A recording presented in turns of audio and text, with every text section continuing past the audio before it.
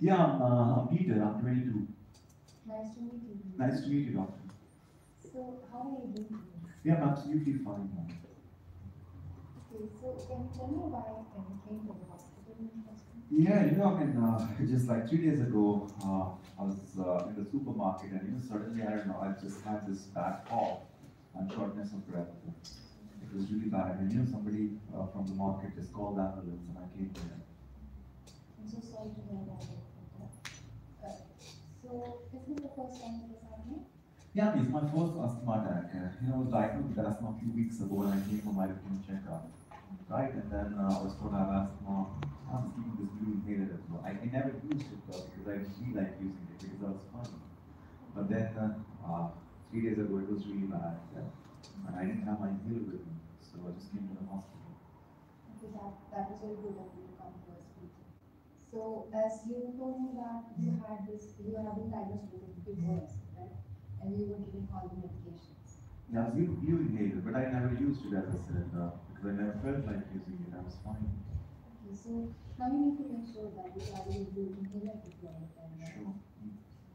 So, is there any other things that you're facing right now? No, I'm fine. I just want to know when I'll be able to go home. Yes, I'll just uh, quickly assess you and then we'll be able to decide what is going on. Sure. Okay. So, uh, do you have any other uh, symptoms like any chest tightness right now? No. Any wheeze? No. No. Any cough or fever? I know. That's it. Okay, a few questions about your past medical history. Are you diagnosed with any other conditions apart from asthma? No. Do you have any um, condition like uh, eczema? Eczema, what's that? It's a skin condition. Do you have it? No, I don't think so. Okay. Any kind of allergies? No. Anyone in your family has a similar kind of uh, condition? Uh, no. Okay, that's good.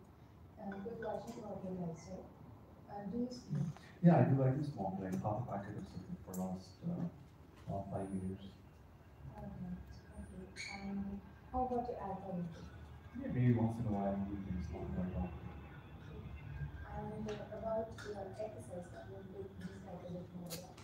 Yeah, I mean, I do exercise. Uh, I from time to time, like four, five days a week. You know. Okay, that's nice. And what do you do for a living? I'm student. I'm going to uni. Is there anything else that I should be aware? No, that's it. I mean, I'm just uh, wondering when I'll be able to go home. That's it.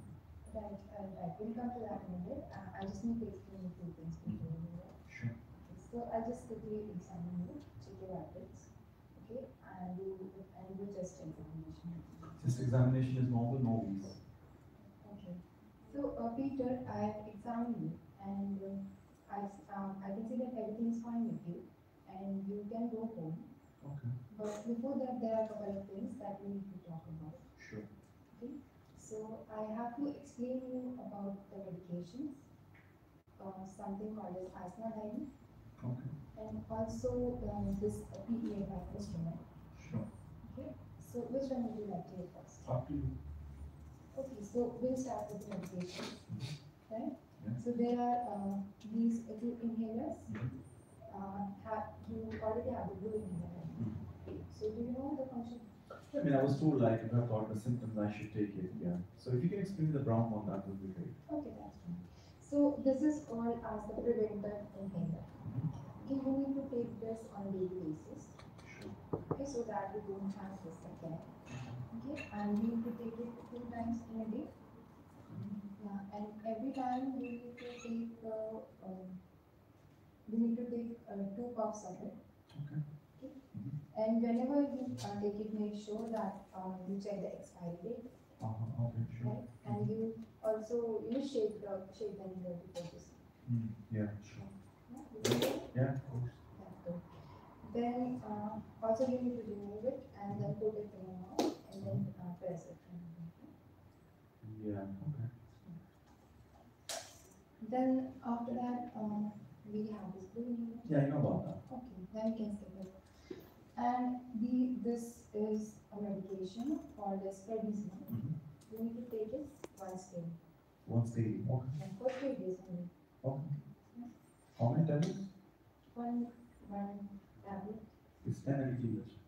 Okay, so you need to take it, um, three tablets. Uh, One time or uh, morning, afternoon, evening? Well, that's a very question. At once, you need to take three tablets. So, uh, after this, there are some adverse effects also these medications, but they are perfectly manageable. Right? Like to know about it? Yeah, sure.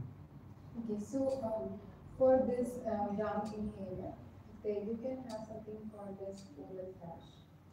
Okay. Have you heard about it? With infection, Right, right. yeah. It could, it could cause an infection in your mouth. Mhm. So what you can do is try to rinse your mouth, you know, after using it. Right, okay. And um, for the blue inhaler, you can have something like heart, racing of your heart. Mhm. Sometimes you can have tremors. But uh, it, it is highly unlikely to occur because you won't be taking it on a daily basis. Uh-huh, yeah, makes sense. And for how long I'll be taking these inhalers? Well, I'm afraid that we'll have to take the inhaler lifeline. Okay. But we can, uh, you know, arrange regular follow-ups for you and we can keep a check on you and your symptoms. Mhm. And then uh, we can decide accordingly. Yeah, sure. Mhm. Okay. Then there is something called as asthma diary. Yeah. So have you heard about it before? Asthma diary, uh, not really. Okay, so I'll be showing you what it is. Mhm. So as uh, you can see that uh, um, this is the diary in which you need to write. Um, I mean there are days mentioned in it. Mhm. There's uh, seven days of the week, and then you need to put the tick whenever you find something is positive. For example, if you are using the reliever inhaler, then you need to put the tick on that. Okay. Yeah. So there are uh, four things like this within the diary. Mhm. Okay, you need to put the tick whenever something is happening. Right, okay. Is that fine? Sure. And also you need uh, to do the record your PEFR. Okay. and you understand what that is? You mean this device? uh, Yes. I was using it in the hospital. So can you show me how to use it? Assume I've done it correctly. Okay, this, so that, that's the right technique. Okay. That's very good. So you need to uh, use it and you need to record the, uh, um, you need to record the findings. Okay, so you need to do it two times in a day. Yeah? During the morning and the evening. Right? And whenever you do it, Move on to the next station. Thank you, doctor.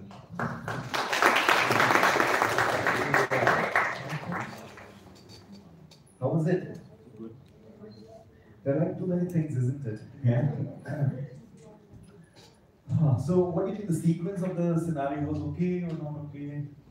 Somehow okay, but the one thing was missing. Let's see. So, uh, patient mentioned in the beginning that I have uh, asthma. I mean, I was diagnosed maybe a few weeks ago, but uh, my first asthma attack three days ago. I was in a supermarket. Maybe you could have explored what were you doing in the supermarket because you may be able to find a trigger factor there, isn't it? So explore that part. I know that later, later on, you're trying to find something. Uh, I mean, in terms of risk factor, you couldn't find any.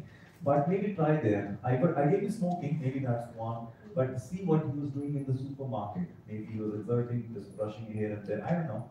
But explore. Maybe that is the thing. Yeah. So uh, ask questions as she asked if you still have cough, you still have shortness of breath or chest pain. And she asked me, I said, no, that's uh, nothing there. Ask about some trigger factors. She actually asked me uh, many trigger factors. That was okay. Then after doing history, do examination. Examination, general physical vitals and chest, she said. I said that's normal. You could have done one more thing in examination. PEFR. If the, if the reading is less than 75%, are you going to send me home? So maybe you could have done that before, isn't it? And the reading that I gave you, maybe you can compare. How? So I gave you what reading? um, six hundred. 600. So, what do you think? Can I go home or not? Height 192 centimeter.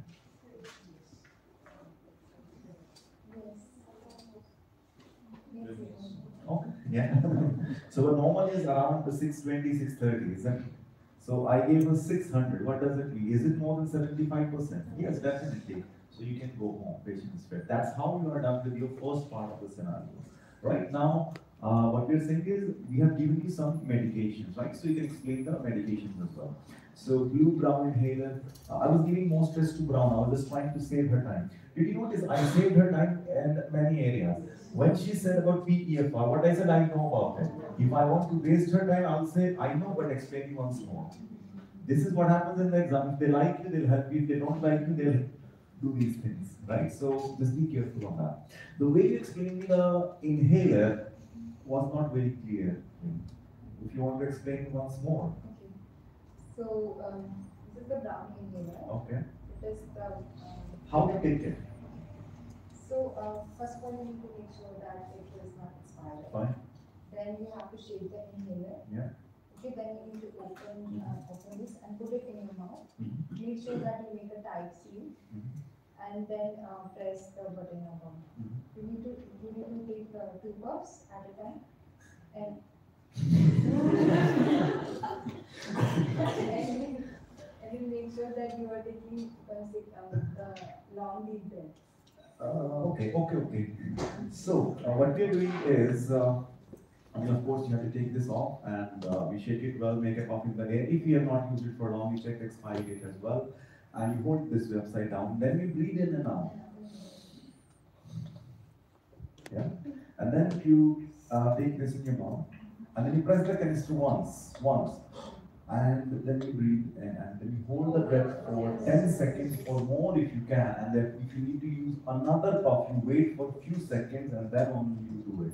Two at a time is not a good idea, right? So just make it clear, don't explain like this. Can you see this here? right. Sorry. Uh, so that's how we can explain. And if you have time, you can uh, talk a bit more about the asthma diary. And if you didn't get much time, then uh, maybe you can just give that asthma diary. As mentioned, I'll be giving you that asthma diary. You know, last half a minute or one minute, you know, you could have spent asking me if I've got any concern. See, asthma diary, of course, you can explain it to the patient, but I think patient might have some concerns as well. Because asthma diary, you can explain in one line as well, that I'll give you asthma diary. It's self-explanatory, but I think